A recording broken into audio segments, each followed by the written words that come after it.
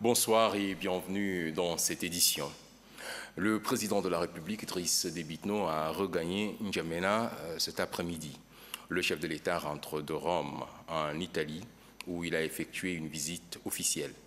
À l'aéroport international Hassan Diamous, il est accueilli à sa descente d'avion par le Premier ministre Paimi Padake Albert, quelques membres du gouvernement et ceux du cabinet du président de la République, ainsi que Madame le maire de la ville de N'Djamena.